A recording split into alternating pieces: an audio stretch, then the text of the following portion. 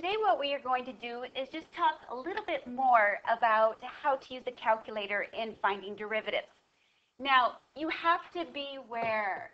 whoa, oh, my pen's not working again. Okay, you have to be where, because sometimes the calculator will say that there is a derivative, but the derivative does not exist. So you have to make sure that you understand where a derivative does not exist. Now we've talked about two definitions for derivatives. There is actually a third definition. Now you do not have to have this definition memorized. The other two you do. But this is the definition that a calculator uses, well specifically the TI-84 uses this in calculating its derivatives. Because a calculator cannot really approach do a limit so what it does is it picks a number just a little bit above the number that you want the slope for, and then it picks a number just a little bit below that point you want, and it subtracts the two. So it finds the change in x over then the change in y.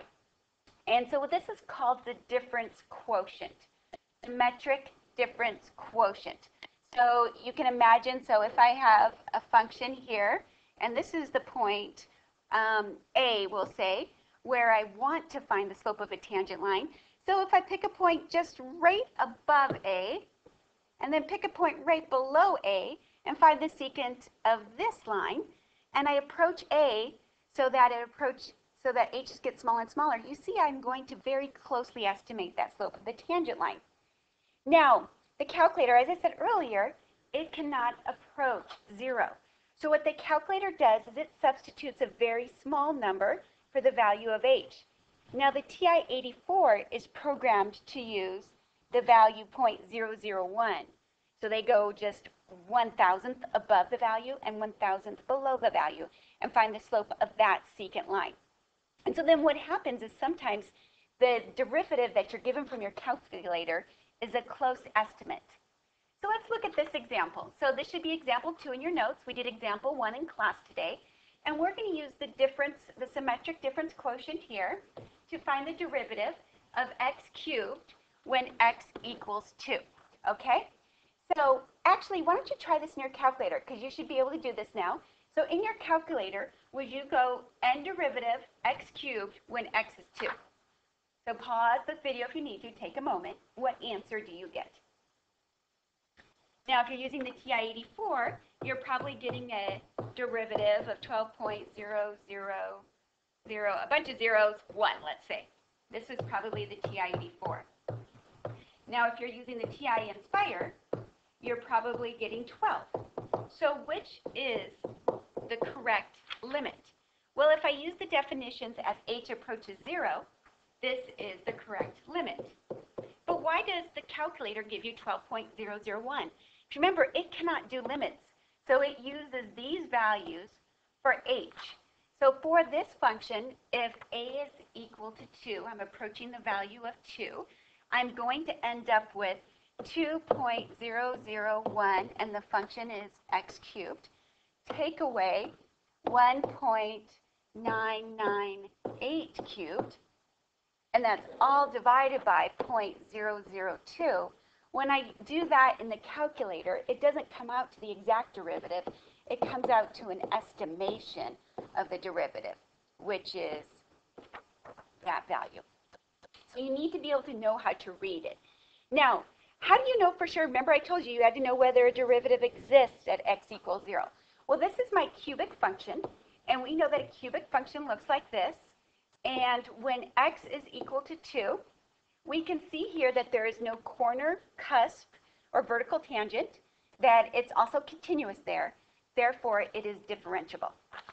Okay.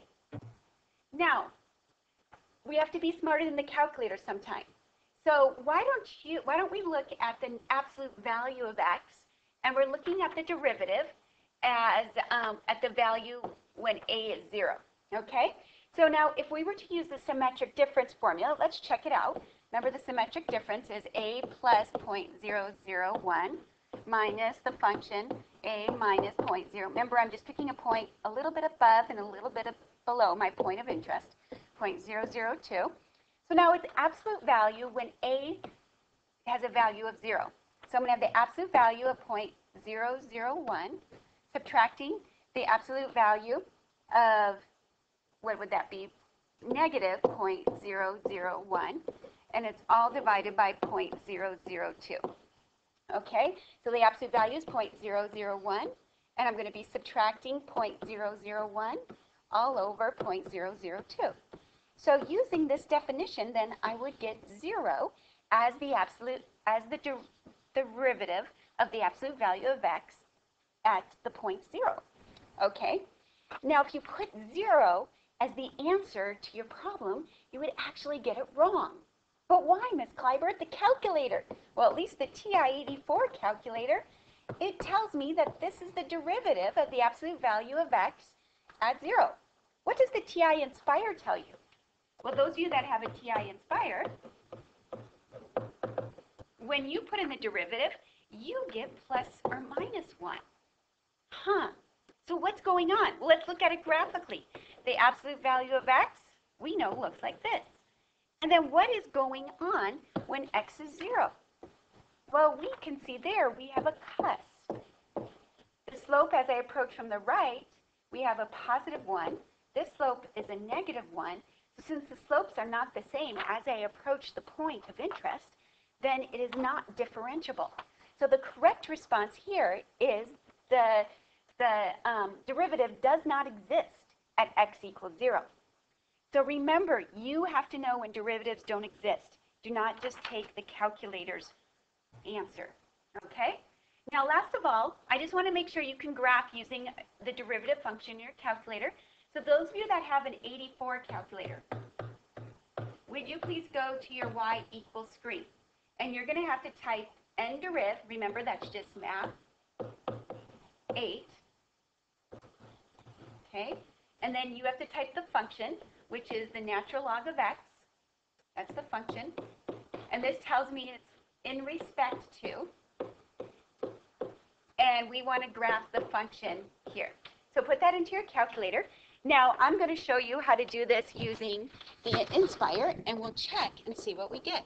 So those of you using an Nspire, we are going to put the derivative. I got a great shortcut for you. Check this out.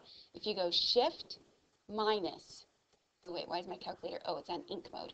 Ah, take it off ink mode. Um, turn off ink. There we go. So now if I go shift minus, notice I get derivative. Way cool, huh? X. And then I type in here natural log. So it is control natural log for X. And then I press enter. There is the derivative graph. Okay, now what graph does that look like? Could you make a conjecture? So what is the derivative of natural log? So now you should be able to graph a derivative on your calculator, and you should be able to calculate the derivative. Okay, so now do those homework problems.